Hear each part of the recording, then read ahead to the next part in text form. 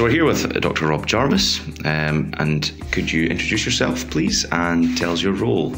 Yeah, absolutely. It, it, well, it's very nice to speak with you, Callum. Um, my name is Rob Jarvis. I'm uh, uh, well, I'm a GP by background, but my current role here is as um, lead for student support co-lead for student support for the ScotGem students.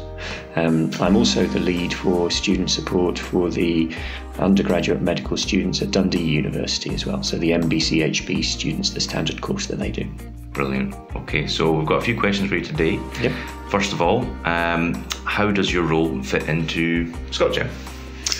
Okay, well, I, I, it's um, yeah, it's an in- interesting um, role. My my main day job is actually as a, a, sort of an academic working over at Dundee University and and trying to help the students there get through the MBCHB course.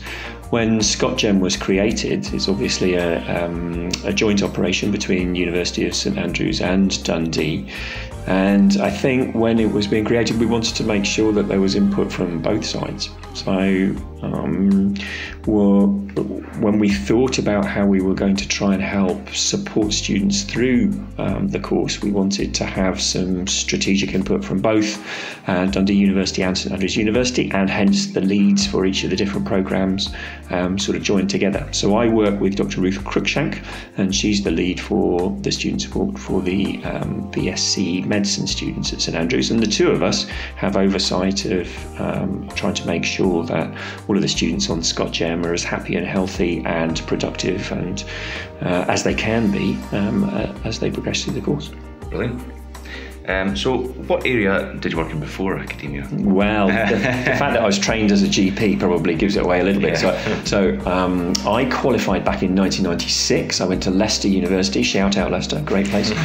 um, uh, and so qualified 1996, and I, I, did a series of jobs. But essentially, I then went into public health for a while. I did that as a registrar. Thought it was absolutely excellent and interesting, but realised I probably wasn't going to be the strategist that I thought I was going to be. Um, so I moved up to Scotland, met my wife, uh, became a GP.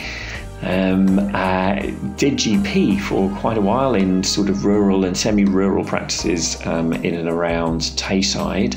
And I also worked as a children's hospice doctor in um, uh, with CHAS, the Children's Hospice Association Scotland, at Rachel House in Kinross. So I did that for about eight, eight or nine years as well. Um, but that was sort of dovetailing with my with my GP role. Um, I really enjoyed that. I'd done some time up in Inverness in paediatrics. Um, I, I, I like the sort of the the dealing with kids and their families aspect, uh, and actually palliative care. Um, I um, I see that as an essential um, part of practice. It gives, as a practitioner, it gives you a bit of opportunity to actually spend some time with people um, and it's at a really important time in their lives. And it's not as negative and horrible as everybody portrays it as being. If you get a chance ever to go to one of the children's hospices, they are the joyous, most colourful, interactive places around, um, and it's all about putting life into the time that we have. So, so actually, that was um, that's that was a great experience. Fantastic. Um, so, can I ask what you enjoy the most about your current role?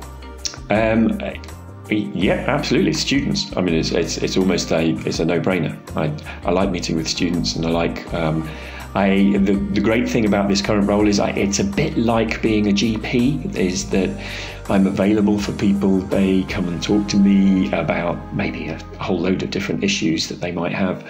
Um, and and my role is to try and listen.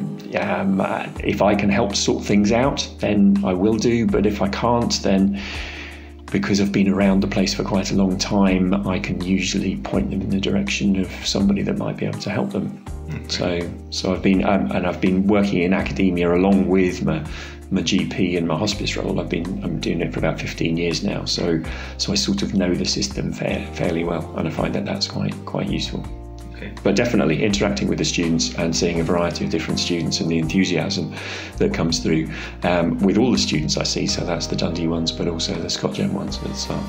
Um, and I can talk more about them if you want me to. um, so, as you say, we worked with many students over the years. Um, if you had a piece of advice, the most essential piece of advice you could give to a first year, new first year medical student, what might it be? Ooh, oh, there's several. Um, but well, let's try and have a think.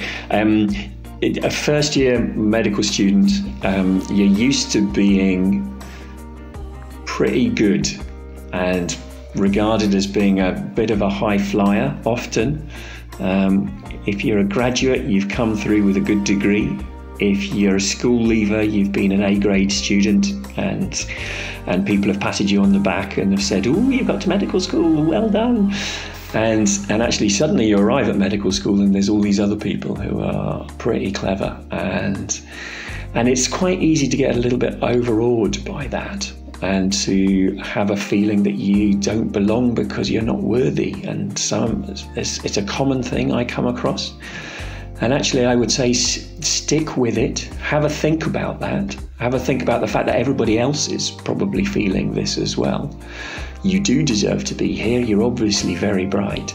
It is different from wherever you've been beforehand. And the way you have to learn and the way that we sort of that medicine is, is a different sort of subject to what you've done beforehand. And so have a think earlier on about how you might approach that and how, how you might start thinking about developing your learning styles so that it works as efficiently and as, as effectively for you as possible over, over all years. I, I see medical students come into year one learn in a very different way to medical students who leave at the end of the course. And at some point they change the way in which they learn. And i think if you can if you can think about that early on and start to do it from an early stage it really really helps. Okay. Um, in terms of advice for uh, students who might be stressed about exams or assessment is there something a tip or a bit of advice that you could no well don't keep it to yourself um, yeah, go and see, go, talk to someone. Now that may be that may be your mates, uh, it, it, may be your family. Um, you'll have a support network of some sort. Um, um, if, if that's difficult, if you find talking with your mates just makes it more stressful because they're also stressed and they're medical students, and then think about who else there might be, um, and don't be shy about seeking slightly more professional help, whether that's counselling. Um, there are excellent counselling services at both St Andrews and Dundee.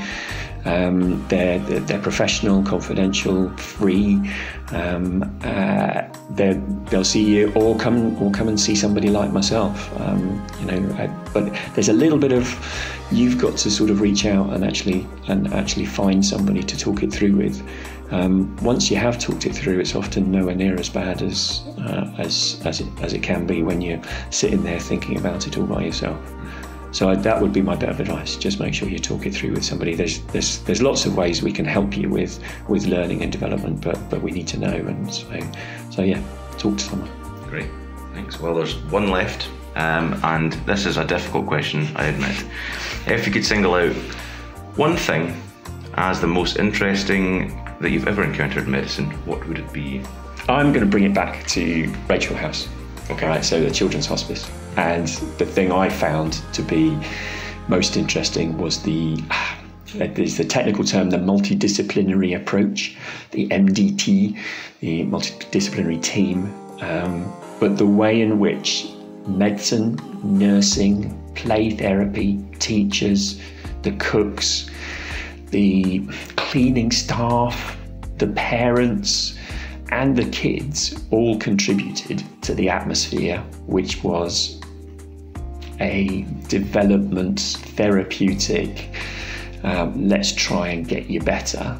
That was the thing that I think in my whole career has sort of struck me as being the most effective.